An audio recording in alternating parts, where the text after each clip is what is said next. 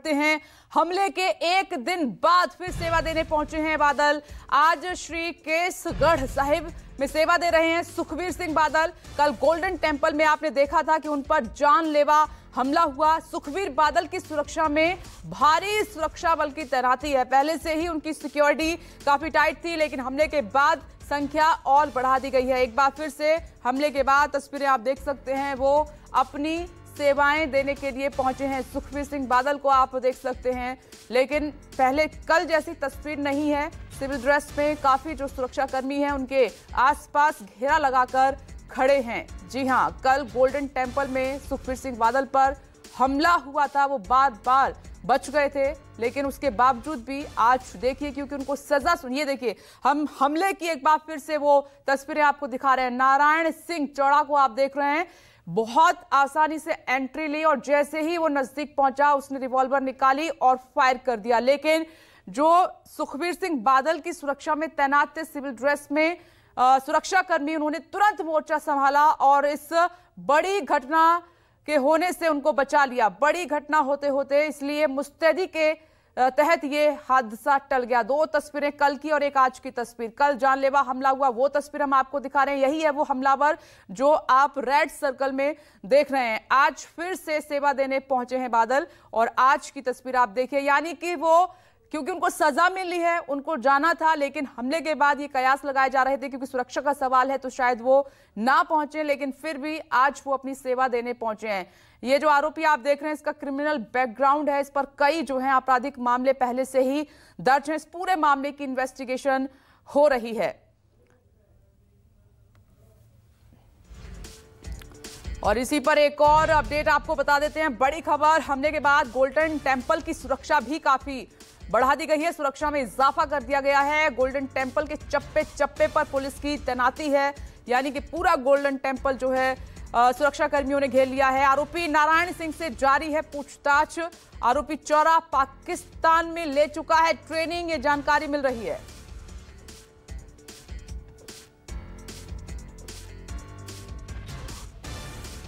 इस समय आप देख पा रहे हैं कि कल जिस तरह से पंजाब के पूर्व उप मुख्यमंत्री सुखबीर सिंह बादल के ऊपर हमला किया गया था और उस हमले को नाकाम कर दिया गया था। फ़िलहाल इस समय हम रोपड़ के श्री अनंतपुर साहब, केसगढ़ साहब में हैं, जहाँ पर सुखबीर बादल की तीसरे दिन की जो सेवा है, जो धार्मिक सेवा है, वो शुरू हो चुकी है और सामने आपको सुखबीर सिंह बादल बैठे हुए दिखाई दे रहे हैं। लेकिन वहीं पर अब भारी तादाद में बेशक पुलिस का यहाँ पे प्रबंध किया गया है, लेकिन वहीं पर मैं आपको दिखाना चाहूँगा कि किस तरह से जहाँ पर जो श्रोमणी अकाली दल के कार्यकर्ता हैं, वर्कर हैं, और वही एसजीपीसी की जो टास्क फोर्स है, यहाँ पर तैनात कर दी गई है, और सामने आपको सुखबीर सिंह बादल सेवा करते हुए भी दिखाई दे रहे हैं, और आसपास जो सुरक्षा घेरा है, वो काफ़ी सख्त कर दिया गया है। बेशक जहाँ पर भारी तादाद में जो अकाली दल के जो कार्यकर्ता है, यहाँ पर पहुँचे भी हुए हैं। उनसे भी बातचीत करने की कोशिश करेंगे। बंटी जी, क्या कहेंगे कि कल की घटना के बाद आज सुरक्षा व्यवस्था ठीक देखो, अगर सुरक्षा व्यवस्था पुलिस ने ठीक रखनी होती तो कल का वाक्य ही नहीं होता था। ये तो लोगों को दिखाने को सब कुछ कर रहे हैं। ना पुलिस पे, ना पंजाब सरकार पे एक पैसे का भी भरोसा नहीं है। जो हिंदू सिख भाईचारे को ख़त्म करना चाहता है पंजाब को और देश को डिस्टेबलाइज करना चाहता है जितनी ताकतें एंटी नेशनल फोर्सेस हैं उनका सबसे बड़ा टारगेट सुखबीर सिंह बादल है क्योंकि ये इन्होंने पंजाब में अमन शांति भाईचारक साँझ बना के रखी है। कमिश्नर कुछ और बोल रहे हैं। कमिश्नर तो सर शर्म आती है वैसे तो मैं बड़े लंबे समय से उनको जानता हूँ इतने गिर गए हैं ऑफिसर्स स्पाइन रीढ़ की हड्डी खत्म हो गई है इनकी। कमिश्नर की क्या ड्यूटी बनती थी? वहाँ पे प्रॉपर सिक्योरिटी अरेंजमेंट हो। अपना फेलियर अपनी कॉम्प्लेसिटी अपनी मिली भुगत पंजाब सरकार और पंजाब पुलिस छुपाने के लिए क्या घटिया बातें कर रही हैं? मुझे शर्म आता है कि पंजाब पुलिस भी का कमिश्नर पंजाब सरकार का स्पोक्समैन बन के बात कर रहा है। अर्शदीप कलेर साहब क्या कहेंगे कि आज जो सुरक्षा बंदोबस्त हैं जिस तरह से सामने सुखबीर सिंह बादल आपको दिखाई भी दे रहा है कि वहाँ पर सेवा निभाई जा रही है तो सुरक्षा बंदोबस्तों को लेके आप संतुष्ट हो? जिस तरह से कल गोल्डन टेंपल के बाहर, जो घटनाक्रम हुआ। विशाल जी, कल जो गोल्डन टेंपल में हुआ शुरू शुरू में ये लग रहा था कि ये सुरक्षा एजेंसियों की एक बड़ी चूक है। पंजाब सरकार की, गृह विभाग की, मुख्यमंत्री, डीजीपी, सबकी एक बड़ी चूक है।